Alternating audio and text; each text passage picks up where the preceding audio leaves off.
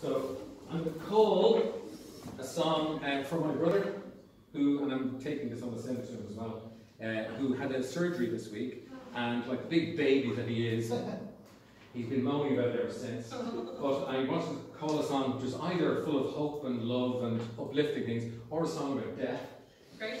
So uh, since, since 98% of our songs are about death, I'll go with that. So we'll try and sing, and since he lives in California, we'll go for 410 Four, Oh, on the top.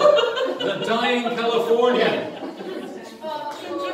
And we'll sing, and we'll sing all four verses, okay?